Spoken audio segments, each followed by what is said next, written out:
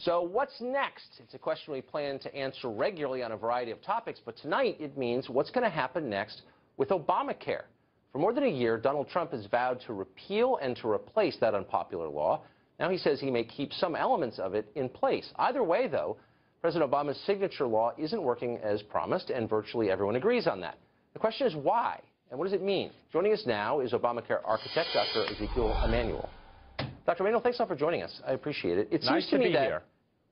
That Obamacare is the biggest piece of social reorganization passed in my lifetime, and yet it has never, so far as I know, had majority support, or never a strong majority support from beginning until now. Starting Well, just at the Tucker, very beginning, shouldn't shouldn't let- you get? I've never seen a poll that suggests the majority of Americans support Obamacare. So shouldn't you get buy-in from the public before reorganizing their health care? The, the public likes many of the provisions. You polled Yeah, some, keeping your sure. child on your parent's plan till mm-hmm. age 26. Almost 80% of the public likes that. Yeah, no pre-existing disease exclusions. Almost 75% of the public likes Right. that. Uh, closing Right. the donut hole for Medicare beneficiaries. 75% of the people like that. You're, you're, you're, right. like about I'm, I'm very aware it. of that. But, The but only on. provision. shouldn't Tucker, you get people to buy in first? Wait, did you ask me a question? I'm answering I the did. question. Yes. Okay, so let me answer the question, please. A little respect. Go ahead. Uh, they, uh, the only provision that scores under 50% is the mandate, and people haven't Hmm. understood that if you want no pre-existing con- uh, disease condition exclusion, you have to have a mandate. Those are inextricably linked. So the public, of course, would like their cake and eat it too, but you Right. cannot Well, have be- both Before of those. you continue to patronize the public, let me just let me just make one thing really clear. So the poorest segment of our society is young people. In fact, this generation is the poorest generation of its age in three generations. They're the poorest. And yet we're forcing them to buy into the system to subsidize the health care of the old and the sick, who are also the richest segment of our population. Why is that fair, and why would you expect them to like it?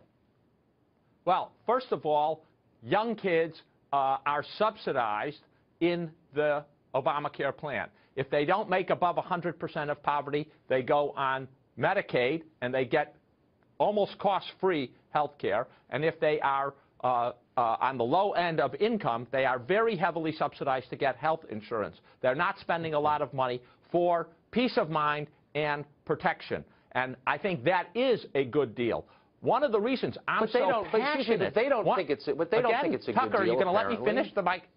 Well, I'm One of the reasons I'm, so I'm passionate following about up. They don't seem to think it's a reform. good deal. That's why you're trying to force them to do it, right? Am I missing something? I just trying to get a straight answer from you. You're trying to force them to do something they don't want to do. You're telling them it's a good deal, but they don't believe it's a good deal. Why don't they believe that? And a, uh, and a lot of them haven't uh, explored what the deal is. They've heard your rhetoric that it's not a good deal, and they haven't actually seen.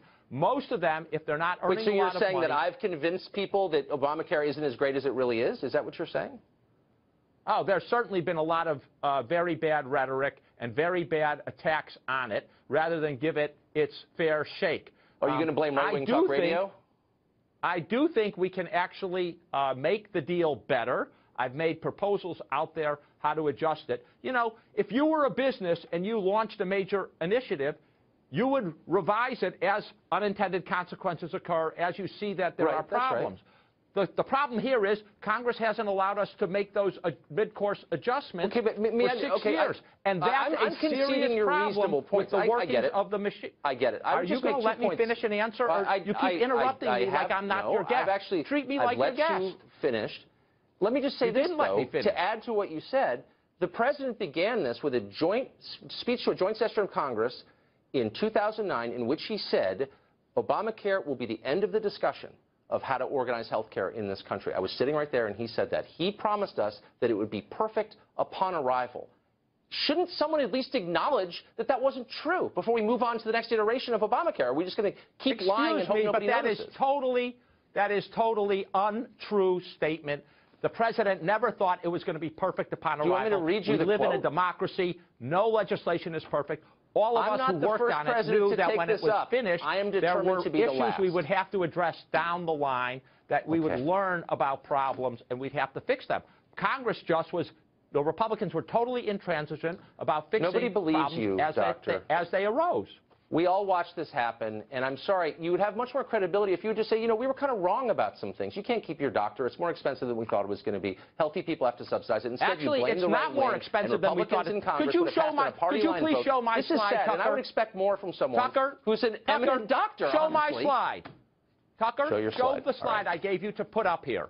Okay. Are you showing the I'm slide? sorry. with the There's two- your slide right there, but it doesn't. Okay. It doesn't mask your demagoguery, doctor. And you just blame the Republicans who had not one thing to do with this legislation, as you know, and you discredit yourself by doing that. And I'm trying to take you seriously. They take had a lot to do with it by their negative non-helpfulness. Okay, On that graph, I'm sorry. it shows you right. what healthcare inflation has been and the fact that healthcare inflation has come way down because of, Okay. uh, partially because of Obamacare. And that difference between the two curves is $4,000 for a family. That's important savings that are Right. uh, ha- the president made possible. In It's fact, the same story. It's a great deal. that You're just too dumb to get how great it is. I, I've heard this before. Thanks a lot, doctor. I appreciate uh, your coming on. Thanks.